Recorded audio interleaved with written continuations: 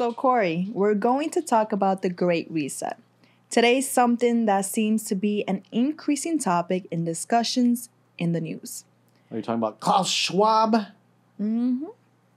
This guy is a piece of work. So there is video of Klaus Schwab. He was even, on, you know, they showed it on Joe Rogan when he was on there. I think he had J- James Lindsay on.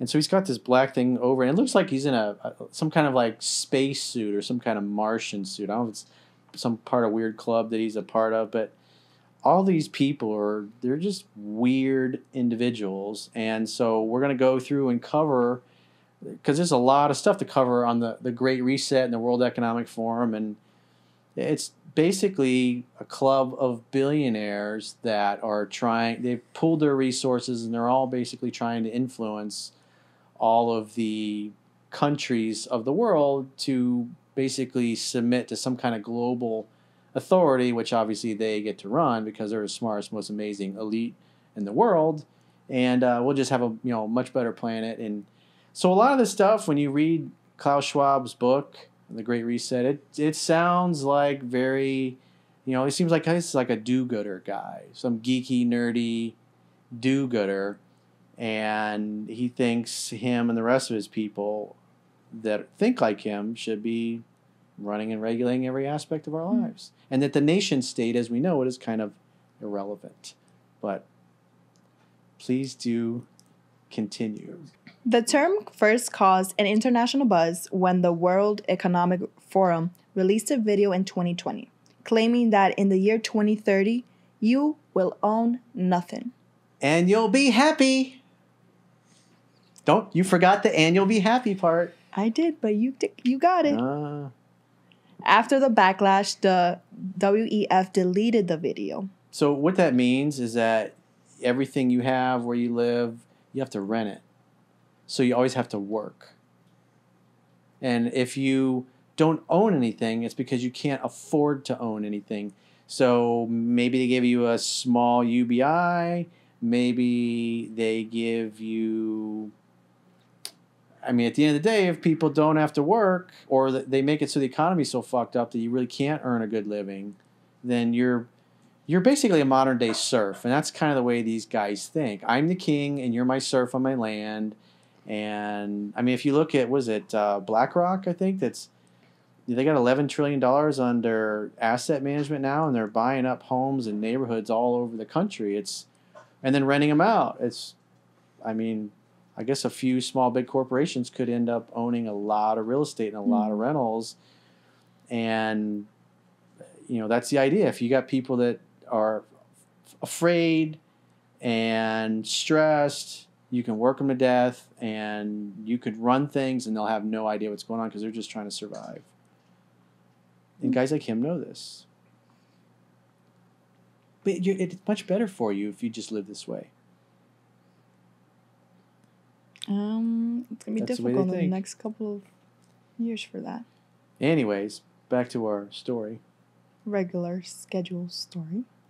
So, what is the Great Reset? The Great Reset was the name of the World Economic Forum meeting held in June 2020 in Davos, Switzerland. According to a Wikipedia summary, it brought together high profile business and political leaders, convened by Charles, Prince of Wales, and the WEF, with the theme of changing society and the economy following the COVID 19 pandemic. WEF Chief Executive Officer Klaus Schwab described three core components of the Great Reset creating conditions for a stakeholder economy, building in a more resilient, equitable, and sustainable way based on environmental, social, and governance metrics, which will incorporate more green public infrastructure projects, and to harness the innovations of the fourth industrial revolution for public good. The public private partnership. The perfect merger of state and corporate interests, as Mussolini called it.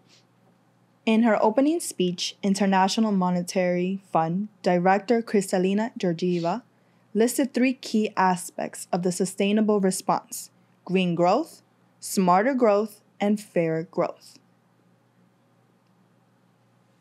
Fair. Those sound like Marxist terms. Pay your fair share. According to the WEF's Great Reset website, the Great Reset is a movement to keep hold of the positive environmental shifts that have happened during lockdown and embed these in society as the new normal. Right positive now, environmental shifts. Because I think uh, emissions dropped like 7% or something like that. So, in other words, they want to continue to suppress societal industrial output because they like the fact that less greenhouse gases or pollution or whatever. Like I said, I remember seeing a figure it was like seven percent. It was down, and they were pissing themselves. They were so happy about that. They don't care that it's fucking people's lives up because these people live in country clubs and expensive places, mm-hmm. and it doesn't affect them. But the peasants, ah, tough shit. Nothing personal. It's just business. They're just saving the world, of course. Can't make an omelet without make breaking a few eggshells. Hmm. Right now, we have a small window of opportunity to shape the future we want for our industry and society. Because as we emerge, the pressure to go back to business as usual will intensify. Mm-hmm. We believe that people in our industry have power and influence, but we need people, lots of people, to choose to use it. We need them to grab this opportunity to help shape a society that puts mankind and our planet's needs first and join the Great Reset. To do this, we need to 1. Reset ourselves to become agents of change, not just passive receivers of briefs. 2. Reset our work so what we create promotes sustainable values, attitudes, and behaviors. That, that's their their idea of sustainable values, attitudes, and behaviors. Correct. This is coming from the website. And three, reset our impact by re evaluating what we measure and celebrate as success. You'll own nothing and you'll be happy. They'll own everything and you'll be their serf. And you have, you have to keep on that little payment treadmill. You always got to be working some bullshit job because it's the only way you can earn enough to survive. But you'll own nothing and you'll be happy. At the launch event for the Great Reset, Prince Charles listed key areas for action the reinvigoration of science, technology, and innovation, a move towards net zero transitions globally, the introduction of carbon pricing, reinventing long standing incentive structures, rebalancing investments to include more, though not all, green investments, and encouraging green public infrastructure projects. In an article on Yahoo Finance, international businesswoman Laura Kohler of Kohler Plumbing Products defended the Great Reset and gave her perspective. She believes the Great Reset is the new standard of different, better, and stronger that should be on every leader's mind. She thinks it's time to reset our thinking to learn and grow. We will never reach a point when all of this, meaning the pandemic, is behind us. The next thing, challenge, will come, and we must refrain and reset our thinking to see every problem as an opportunity to innovate, to disrupt, or to break through to new heights. As a leader, that means Rahm, Rahm Emanuel, who worked for um, who was it, Barack Obama, and it was the mayor of Chicago who just failed miserably. He said, "Never let a crisis go to waste because it enables you to do things that you couldn't have got gotten done otherwise because it's a crisis." And that's what he's talking about. So anytime there's a crisis, they're going to use it to their advantage to scare the shit out of people and concentrate more power on themselves. That's what all tyrants do. As a leader, that means we're equipping our teams to not only think in this way, but also to act in a new way, to be better and stronger when the next crisis or setback hits, to see opportunity and to focus on the future. What exactly is the World Economic Forum? According to Wikipedia, it is a group of elite business and political leaders and celebrities who meet at annual confab in Davos, founded in 1971 by German engineer and economist Klaus Schwab. Mostly funded by its 1,000 member companies, typically global enterprises with more than 5 billion US dollars in turnover, views its mission as improving the state of the world by engaging business, political, academic, and other leaders of society to shape global, regional, and industry agendas. Yeah, he was just on video. I think in the last couple years, this was all over Twitter recently, bragging about. These are his words: how they had penetrated all the different governments of the West, and how they had people, their acolytes, people that had gone through their programs that were trained in their way of thinking, running governments. Like Justin Trudeau is a well-known one of them, and you know we'll get to that in the story. There's a lot of people in Europe and European positions of power that this guy and his friends have influenced. And he's bragging about how they've penetrated all the cabinets of all the governments of the world. And it's just interesting when you look at the West how it's just globally everybody pretty much did the same thing. So, mostly known for its annual meeting at the end of January in Davos, a mountain resort in the Eastern Alps region of Switzerland. The meeting brings together some 3,000 paying members and selected participants, among whom are investors, business leaders, political leaders, economists, celebrities, and journalists to, discuss, to discuss global issues. The forum suggests that a globalized world is best managed by a self selected coalition of multinational corporations, governments, and civil society organizations, which it expresses through initiatives like the Great Reset and the Global Redesign. It sees periods of global instability, such as financial crisis and the COVID 19 pandemic, as windows of opportunity to intensify its prog- programmatic efforts. Yeah, it's you know everything's global. They're, these are the, the globalist type people that they don't really have any loyalty to their countries and where they came from. They consider them citizens of the world, if you will, and they're at, at the highest levels of success and influence, and they think they're the smartest people around. The rest of us are a bunch of useless eaters and stupid morons that are too dumb to know what's good for us, and therefore people like him, him and his friends, should be running and regulating every aspect of our lives. So yeah, they want to control everyone's lives, but they're not elected officials No. at all. I, they have no accountability, so they can do whatever they want, and they won't get in trouble. Yeah. And it's all the it's all the wealthiest, pow- most powerful people in the world. So it's all the people where you have all this power. So it's like, oh, we've been collecting our power our whole life and not giving it back. But if you just give us the rest of the little power you have left, we promise we'll give you the power back and take care of you. Yeah. Are we really supposed to believe those same people? No, it's weird. Weird. It makes no sense too. Um, the WEF has something called the Young Global Leaders Program that trains leaders to pursue the WEF's agenda. The program seeks to identify, select, and promote future global leaders in business and politics. Attendees at the school must apply for admission and are subjected to a rigorous selection process. There are currently about 1,300 graduates, and the list of alumni includes those who went on to become leaders of the health institutions of their respective nations. That's interesting. Business Week's Bruce Nos. Okay, let me. Nussbaum. Okay, let me see if there's any other words that I might not know. Okay, Nussbaum.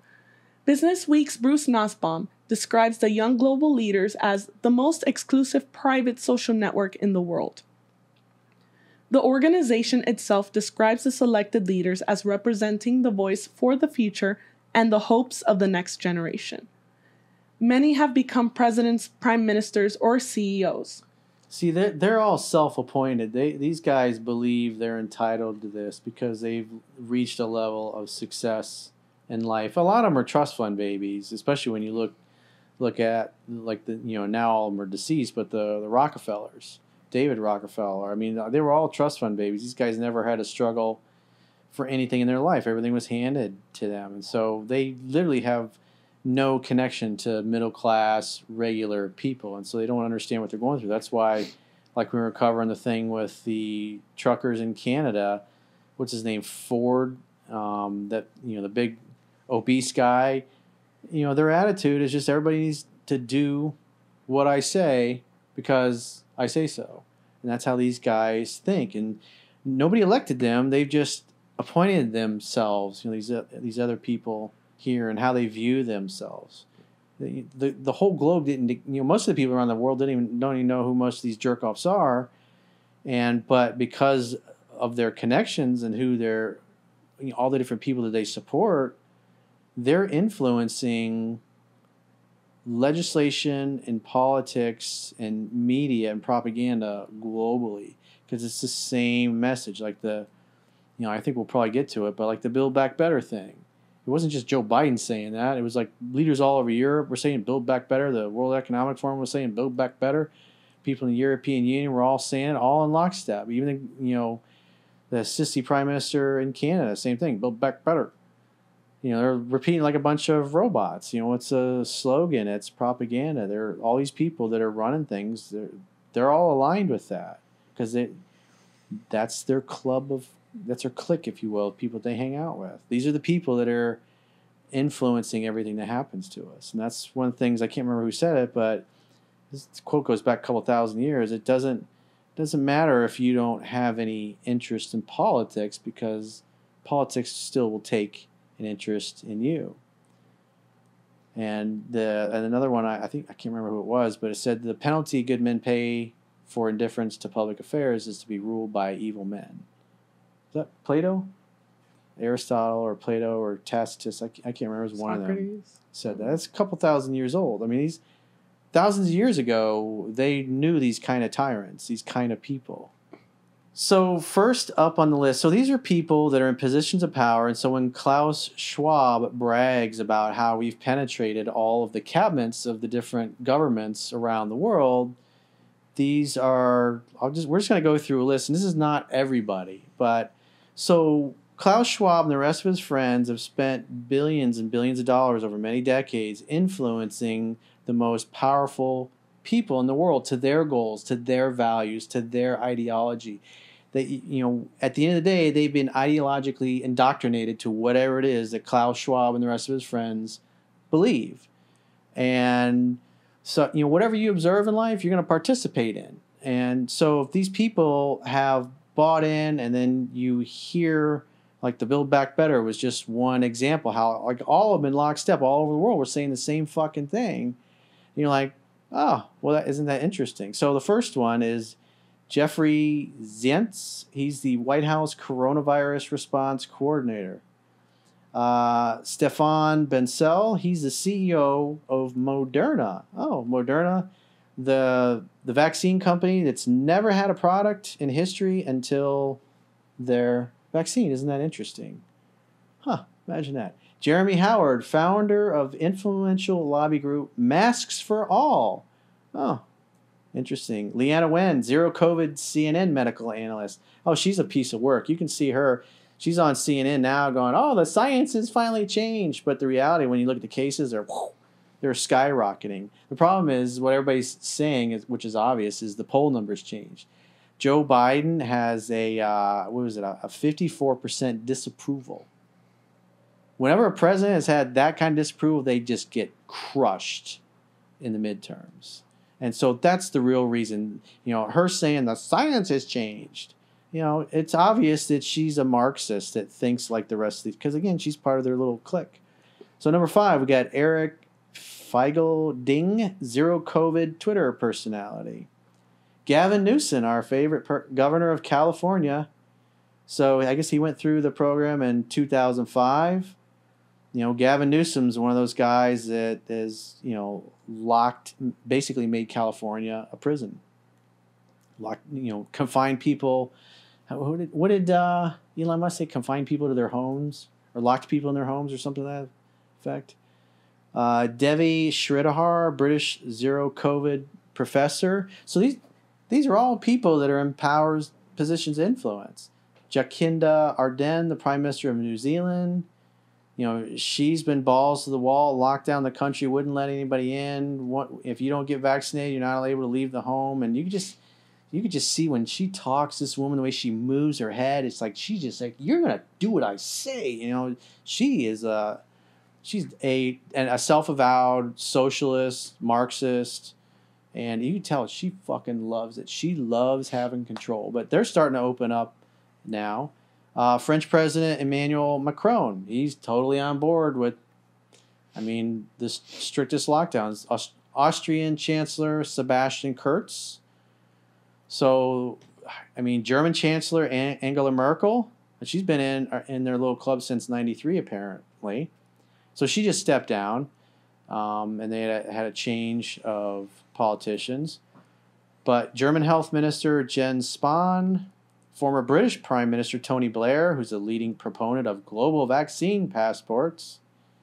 It's just you can see their goals. They all think alike. You're going to do what you told, you fucking peasants. Jean Claude Juncker, former Prime Minister of Luxembourg and President of the European Commission. He was nicknamed the, the Joker. I, I wrote about him in my book, Mastering Yourself. He was a piece of this guy was drunk all the time. What a piece of work. Annalena Baerbock, the leader of the German Greens. Current U.S. Secretary of Transportation, Pete Buttigieg. Oh, look at that. Imagine that. Jack Ma, founder of Alibaba, which we haven't seen much of Jack Ma since he got into trouble with the CCP. He got a little too uppity and they he's been very quiet. During the pandemic, several WEF global leaders played prominent roles, typically promoting zero COVID strategies, lockdowns, mask mandates, and vaccine passports. This may have been an attempt to protect public health and the economy, or it may have been an attempt to advance the global transformation agenda outlined in the Great Reset, or perhaps both. All of these politicians who were in office during the past two years favored harsh responses to the COVID 19 pandemic and considerably increased their respective governments' power. It's worth noting that at a conference at Harvard's Kennedy School of Government in 2017, Klaus Schwab, the founder and leader of the WEF, boasted What we are very proud of is that we penetrate the global cabinets of countries with our WEF young global leaders, like Trudeau. So, who is Klaus Schwab? A German engineer and economist who was professor of business policy at University of Geneva from 1972 to 2003. Company during World War II. Information on his parents is scarce and mostly on anti Schwab, anti globalist websites, claiming his father was a Nazi as chairman of arms manufacturer Escher Wyss and Company during World War II. There are unconfirmed claims Schwab's mother was Jewish and abandoned him with his father when he was an infant to flee to America. He was raised by his German stepmom and never talks about his birth mom. What arguments are advanced in Schwab's book, COVID 19 The Great Reset? The book was published in July 2020, only six months after the pandemic began. It's almost like he had the book ready to go. You don't write and publish a mm. book in six months. It doesn't happen. I mean, I I did my first book, and I think it took me three or four months, and it was me and my ghostwriter, and then getting it all uploaded. It's like that guy had been working on that thing. Is it post-its? People have people have have joked. You know, even uh, Jen Psaki said it by accident. Instead of the pandemic, they call it the plandemic. Plandemic there was a clip on you know in one of the White House briefing. She was you know she was just talking and then she said the the plandemic. And obviously there were a lot of memes. People grabbed that and made a lot of clips out of it. she said the quiet part out loud. But you know, you look at that. The book comes out six months. It's like, come on, man. That dude had that book ready to go. There's no way. The book posits we are in the midst of the fourth industrial revolution and that the digital transformation has found its catalyst with COVID 19. Because of accelerating technology and international interdependence, and the risk of a grand conflict coming out of a global catastrophe, such as a global pandemic, the only solution is greater global governance and cooperation and pushing a green recovery to avert potential grand conflict. Some of the big ideas from the book include In the macro reset, the pandemic is accelerating remote working, automation, telemedicine, drone delivery, digital currency, etc. There is need for more comprehensive governance for the collective good. That's from collectivism, Marxism. It's at the end of the day, when you look at the history of communism, where it came from, it's basically a bunch of wealthy kids that had nothing to do, were born with a silver spoon in their mouths. When you look at Engels and Marx, these were privileged kids that came up with this idea that oh, we're going to have this, we're going to take care and unite all the work workers of the world unite. We're going to take care of you because you're being exploited.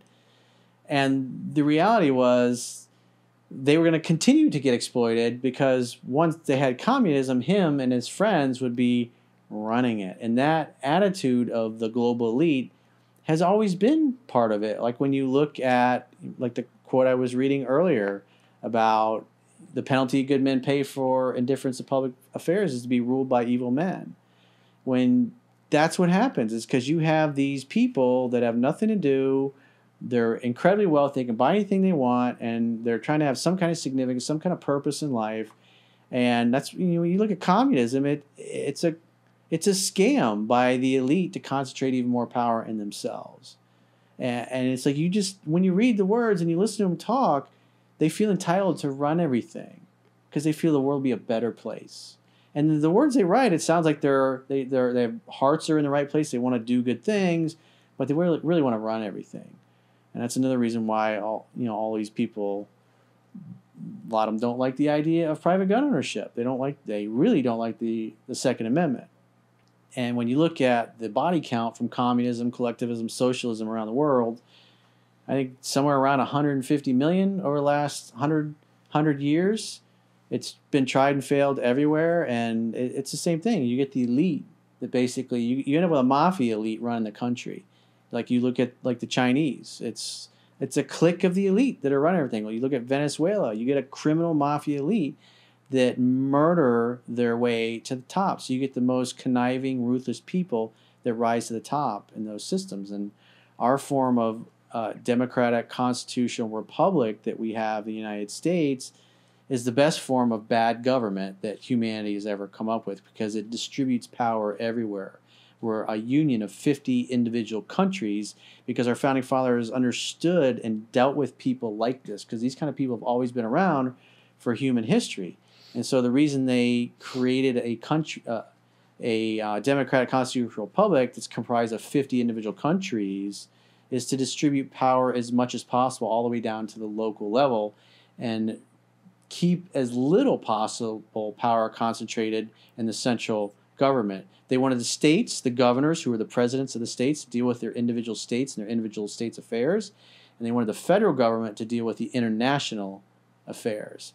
Because when you concentrate all offices in Washington, as they referred to it, you're going to end up with communism, socialism, collectivism, fascism, whatever you want to call it. I would say these guys, they use a lot of Marxist principles, but they're really corporate fascists. They, again, that's the perfect merger of state and corporate interests in in cahoots to basically run and regulate every aspect of our lives. This this battle has been going on all throughout human history, and it always will be.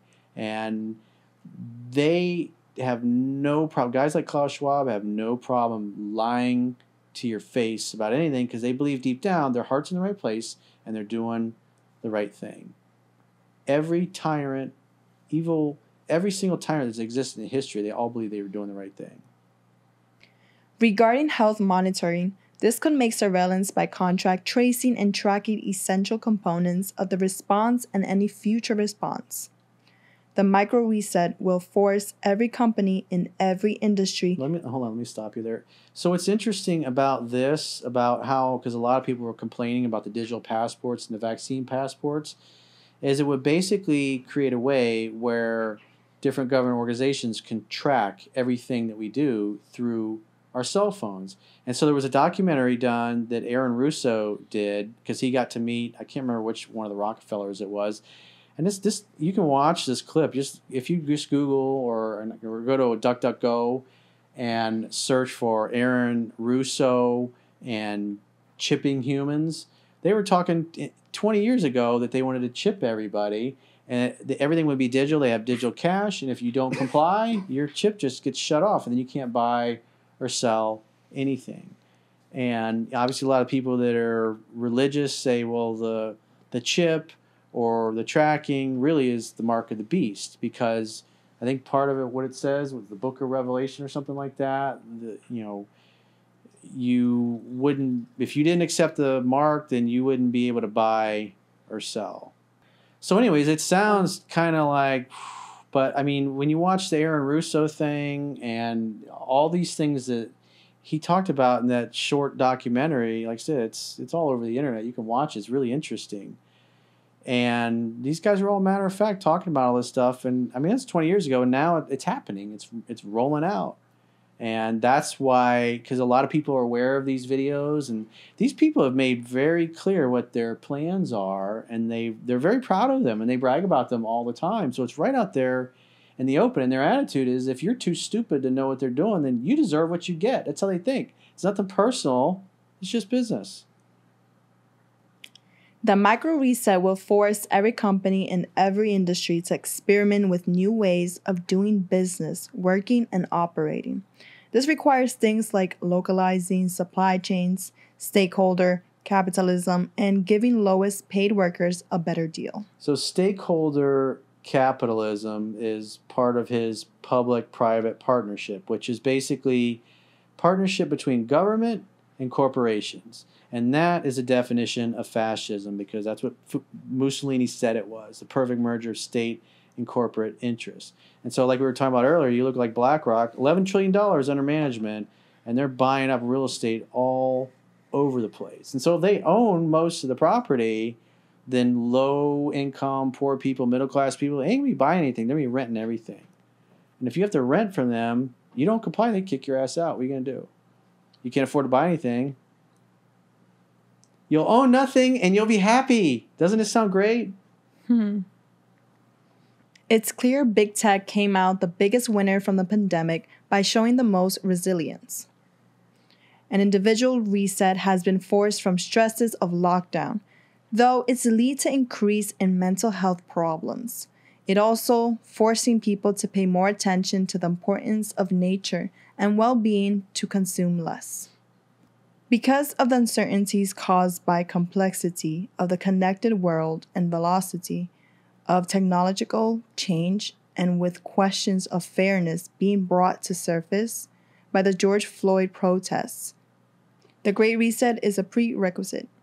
Worldwide movements are demanding a better future and calling for a shift to an economic system that prioritizes our collective well being over mere GDP growth. Collectivism is Marxism. Marxism always leads to concentrated power in a mafia elite. You can study history, it's happened everywhere you concentrate power. I would, you know, when you look at the Chinese, the Chinese aren't really even communist anymore. They're more corporate fascist.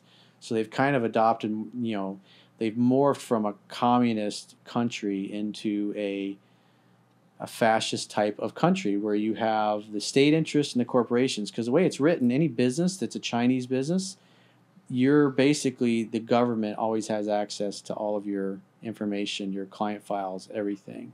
And if you're a Chinese company doing business outside the country, then the Chinese are, are the government is entitled to all of your data on everything you're doing in the other countries. And that's why people are you know, looking at TikTok going, it's basically a spy device. Because if you think about it, you know, because people have gone through and analyzed the code, and there's a lot of things in there that are grabbing information from your phone that it shouldn't be and sending it somewhere and asking for information that it shouldn't be asking for. And that's why when Trump was in office, he was saying he was going to ban it because it's basically spyware of the, the Chinese government. I mean, think about it everybody's got TikTok. You can learn everything about them, their behaviors, what they're into, their relationships, who they're connected to, and you can plot all that stuff out and with computers and track it. Use AI to sort it. The world is at a crossroads, and only the Great Reset will lead to a better world, more inclusive, more equitable, and more respectful of Mother Nature only the Great Reset will lead to a better world. So, in other words, only their ideas, only their way of life will make planet Earth better. Just give us all your power, control, power over everything. And you'll own nothing and you'll be happy. Trust us. There's an interesting review of the book from Springer Publishing, an American publishing company of academic books, that concludes Their argument for the necessity for a great reset strays from the small or marginal changes they describe. Instead, it functions as an entire re- renegotiation and re envisioning of the social contract. They ultimately advocate for a substantial, if not complete, socio political economic overhaul without offering any specifics as to how this could be achieved. They fail to do so, even while arguing that the overhaul is not only necessary, but also in need of expedient execution. Yeah, they do it through guys like Trudeau and half of his cabinet that are that have the same policy positions. They're pushing the same agenda. These guys literally have penetrated all the governments of the West. And that's how they're getting this stuff done. Whether you like it or not, whether you believe it or not, this is what they are doing. They are legislating your freedom out of existence right under your noses and laughing at you. That's why all of them, like uh, Boris Johnson, all of them, you know, they were partying without their masks on. He, Gavin Newsom's hanging out in a restaurant partying without his mask on, and then they get caught and they just lie about because they don't give a shit about this stuff. It's it's all part of their shared agenda. Despite their explicit position on the benefits of doing so, they ultimately risk undermining their aim given the opacity of how to achieve it. In sum, beware of those who roar, this is the way. What do those yeah, who wait, cl- going about with that, like the alibi of the tyrants is the welfare of the people. Yeah. So like they just promise all these great, beautiful things, and then that's just how they do it. That's how they kind of coax people into it. You'll own nothing and you'll be happy. Like they could just like oh pro- make all these promises and never deliver on it, and then they're in power and they completely secure it, and you're kind of already screwed. That's why Joe Biden has a 54% disapproval rating. He, you know, everybody on the left is getting red pilled now because they're like, man, this guy's not doing what he promised. He said he was going to raise student debt. He didn't do any of that. He do any of the things. It's like he gets in, he's, he says, I'm going to do this. Then he gets elected, and then he just does a completely different agenda. The only thing he did with student debt was to uh, postpone the the debt. That Yep, was and it. Trump had already been doing that. Yeah. What do those who claim the Great Reset is an anti globalist conspiracy theory say? In a BBC article dismissing the idea as nothing to worry about, the BBC asked, How did it go viral? It explained that these conspiracy theories began circulating online around the June 2020 launch, but only gained significant traction later in the year. The phrase started trending on Twitter when a video went viral showing Canadian Prime Minister Justin Trudeau at a UN meeting in September, saying the pandemic provided an opportunity for a reset. Oh, imagine that. A reset. Trudeau said the same thing, and Klaus Schwab was bragging about how he had penetrated his government, and Trudeau was one of his guys. That's just swell. Sure, they have the best intentions at heart. Totally. On left leaning news opinion website The Intercept, liberal author, author and social activist Naomi Klein wrote an article titled The Great Reset Conspiracy Smoothie. She claims the Great Reset is an attempt to create a plausible impression that the huge winners in the system are on the verge of voluntarily setting greed aside to get serious about solving the raging crises that are radically destabilizing our world. Yeah, a lot of the crises have been created by these jerk offs. In expressing her concern that messaging conflating necessary climate change measures with the Great Reset was benefiting big global companies, Klein wrote, This messaging is gaining traction not because people are suckers, but because they are mad, and they have every right to be.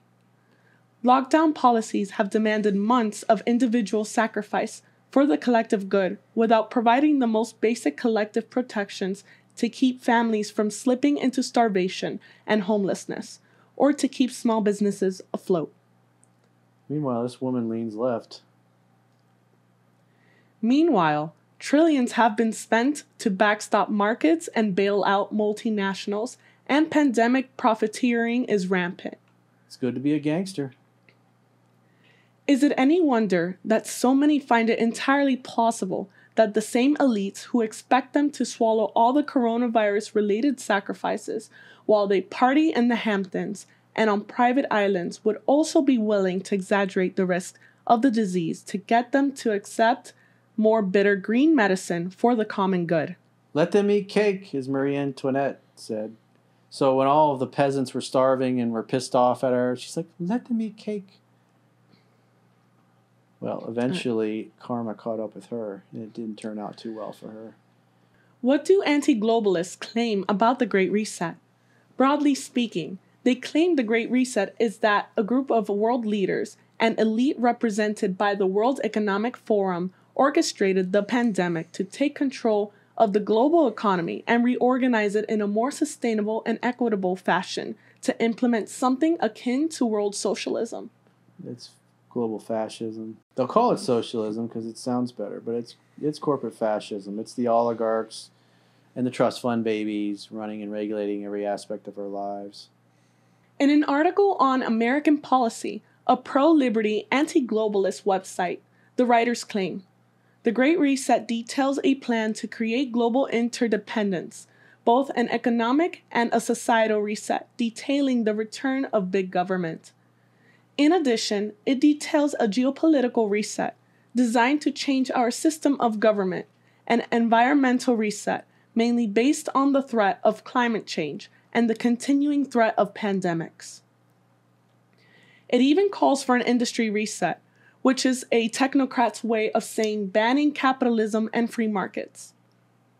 And finally, it outlines our coming mental health issues and well being that will be affected as we cope with the shock of the destruction of our society through the Great Reset.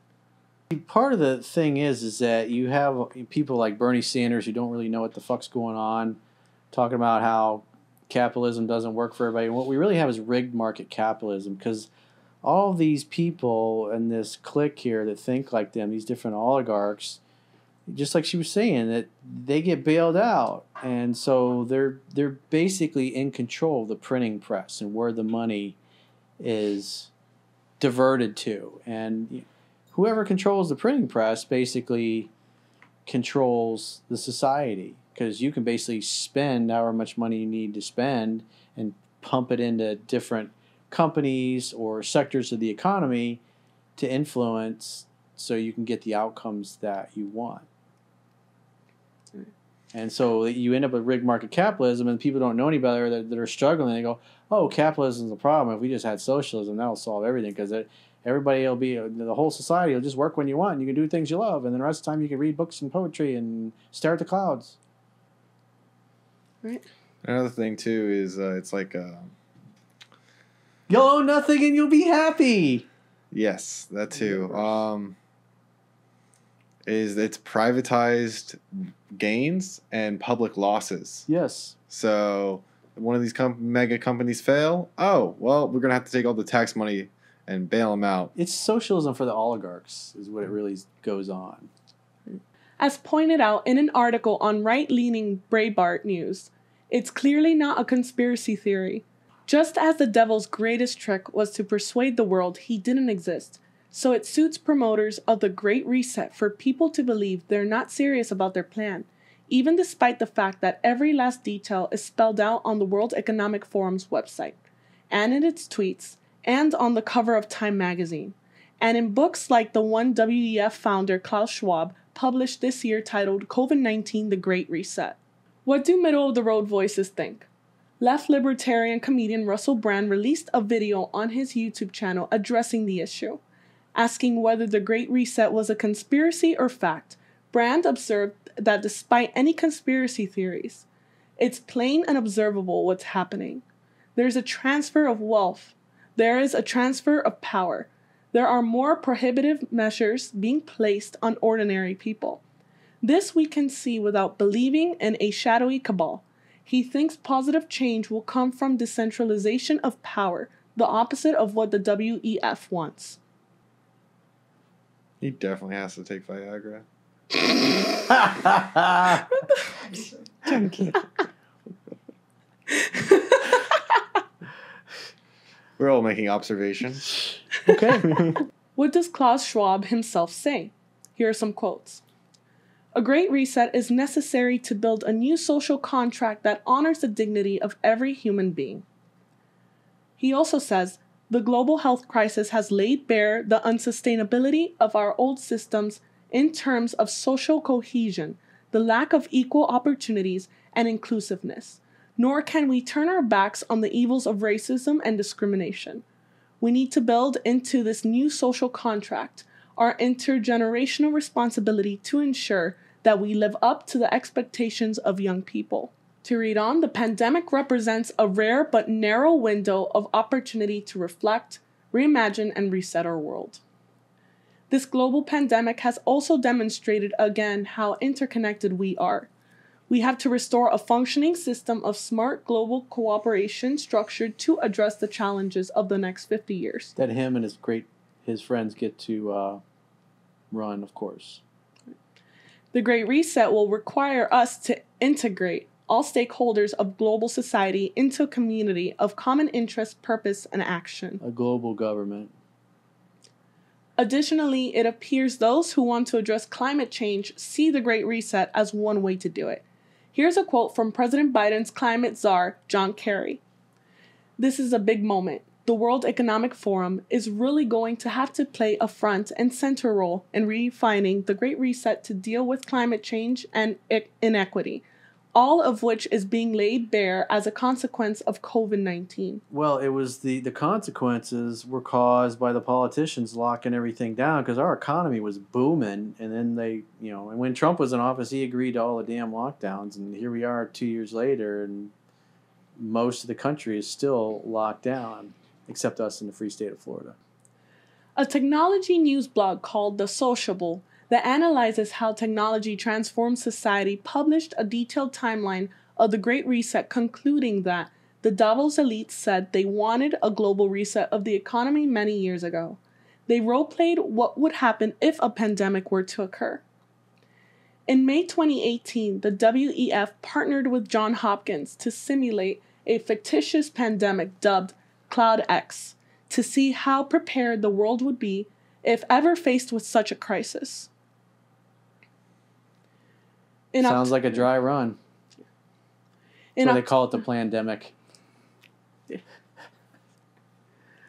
In October. oh my god.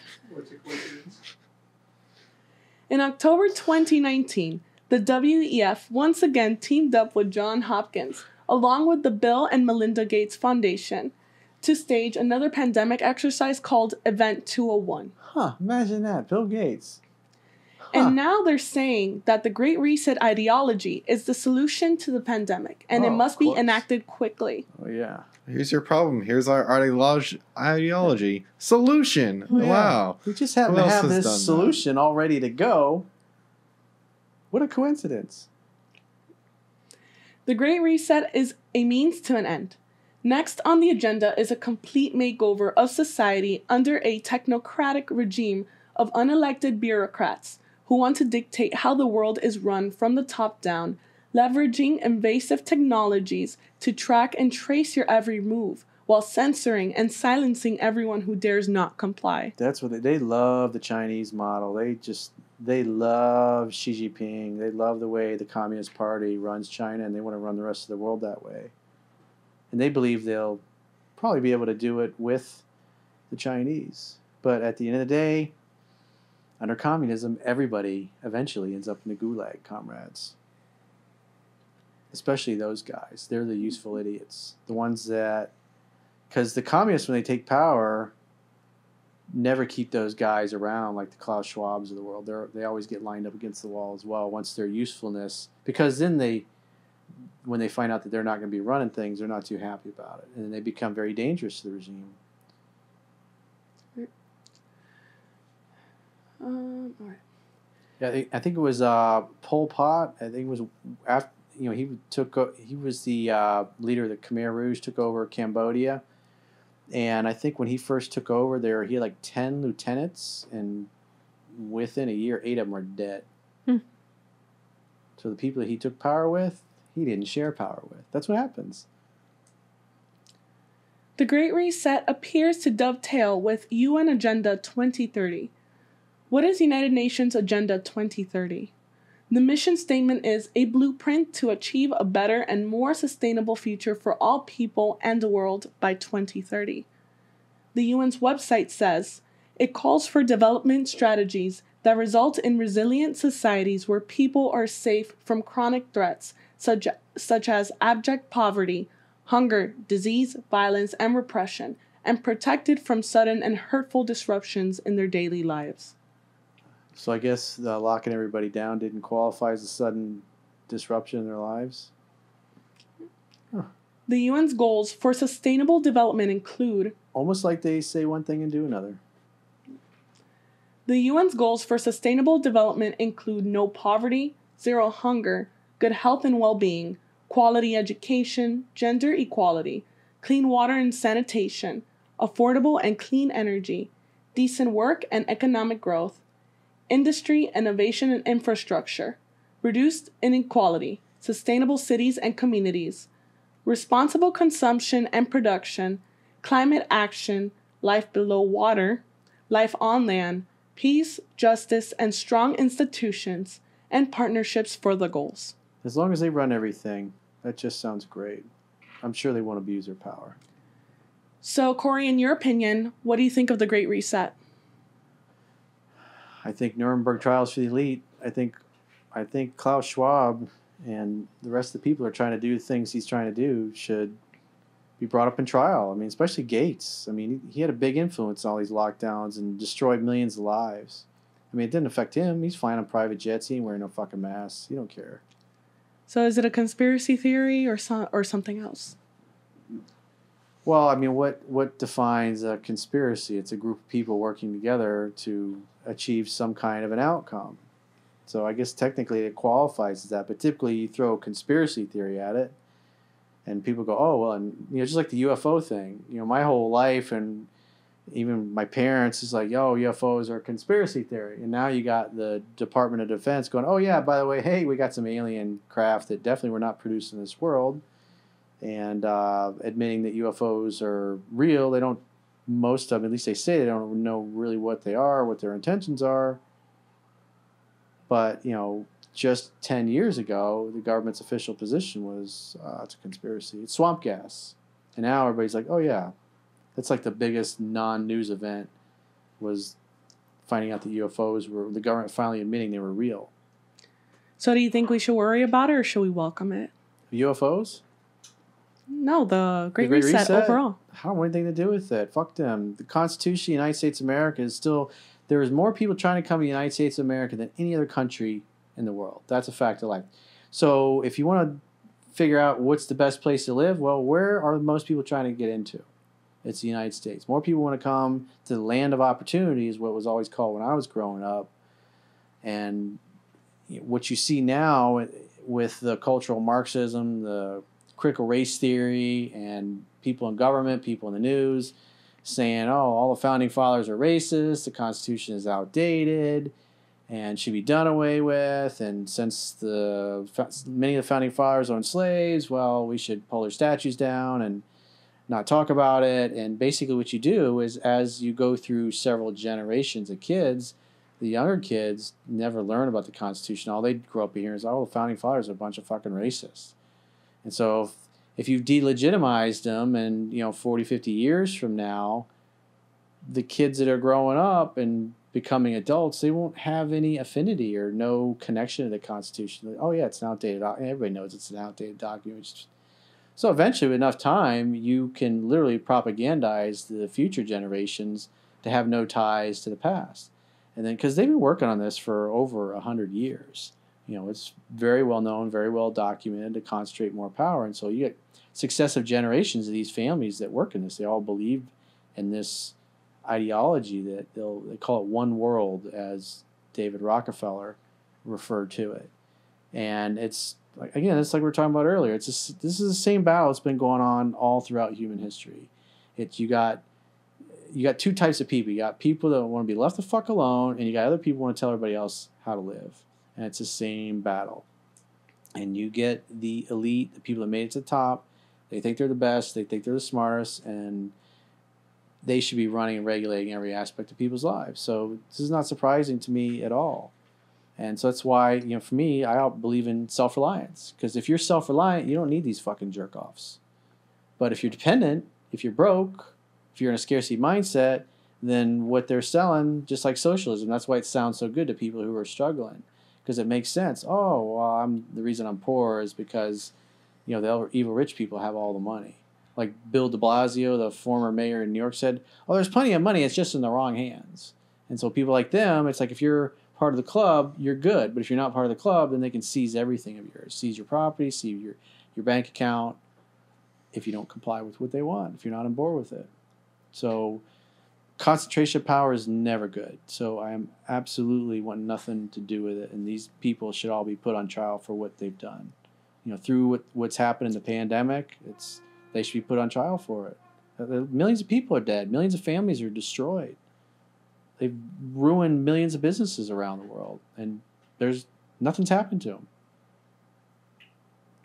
Well, a simple solution is you need a stable money supply. You need a stable and elastic money supply, and cryptocurrencies do that. I believe we should also have a digital US dollar as well, along with a, a euro and every other type of currency. There should be multiple currencies and multiple purposes because liberty exists, like Lord, Lord Acton said, liberty exists in the distribution of power, tyranny in the concentration of it. And when you have money the power to print money concentrated in two small hands, then you get a boom and bust cycle that's been, you know, because when the Federal Reserve came into existence, they promised us we would, this boom bust cycle would be over. We'd always have a nice stable economy. And we've had nothing but boom and bust cycles, and people like this have just manipulated the boom and bust cycle to their benefit to accumulate more wealth because all the, the, the people that are paycheck to paycheck, when stuff like this happens, they lose their homes because they can't pay their bills anymore. Then guys like this come in and buy their properties up at you know pennies on the dollar, their businesses up at pennies on the dollar, and concentrate more wealth, more power yeah. within themselves. And so by having a stable money supply, it can help offset or eliminate the problems created by the central bankers if we're able to use like Dogecoin or Bitcoin or um, Monero or any of these other um, type of uh, the Shibu coin, any of these other type of coins, you create all kinds of different money. So you don't need a bank, you don't need the government for cash. There's, there's plenty of people that have cash that need things done. And so you're not totally dependent on one type of money. So I'm all about for the distribution of money. That will solve the boom and bust cycle if we have a stable and elastic money supply. And we need to have a justice system that works. You can't have all these people in government doing all these crimes that are pretty obvious, like the shit that Hillary Clinton and the rest of her clan pulled off, and just have them skating on it because that's the kind of thing that erodes the people's trust in the government.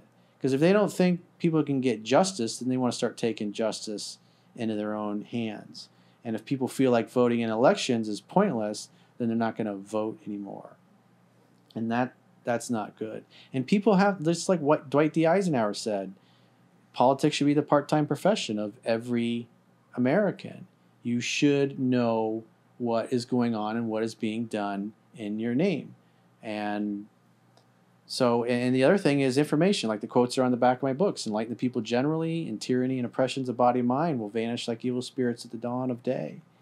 If most people did that, if people were self reliant, if they learned how to earn a great living by simply developing their own value proposition. That's growing their reserve of knowledge, developing their gifts, their skills, and their talents, learning ba- the basic stuff of self reliance that I teach in my books. If people understood that and we had a stable money supply, it wouldn't really matter a whole hell of a lot what the government did. And if people were enlightened and they knew what was going on and they had trustworthy media, then they can elect people and hold them accountable. And the ones that don't, get them voted out of office. And because these guys, I believe they've overplayed their hands. And when you look at Joe Biden, it's got a 54% approval. And that's why California and everybody else is trying to really quickly open back up and you know change, move the goalposts, say, oh well, the science changed, and we're going to go back to normal now, is because they're absolutely getting crushed in the polls, and the people are sick of it. And so it's like the you know we were talking about earlier about the Joe Rogan, the um, Dr. Malone, Dr. McCullough. I think that was kind of the the tipping point. That was the kind of aha moment, and you know all the people that we went through in here.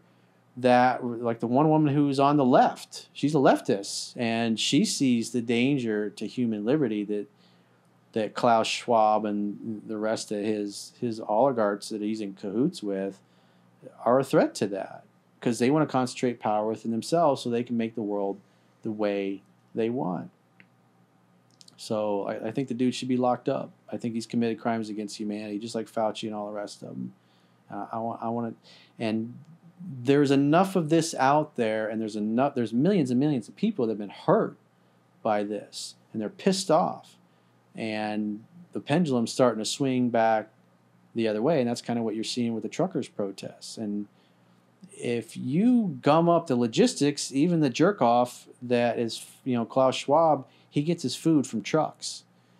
And so if the trucks stop moving and the logistics stop moving, the truckers have all the leverage. They have them actually the most leverage in in the country, in all the countries of the world. If you stop moving goods and services, the people are going to get upset real fast and they're going to turn on the people that cause this shit really fast. That's why when you look at Canada, how now 54% of Canadians are like they they want the shit gone. So I believe we're moving in the right direction.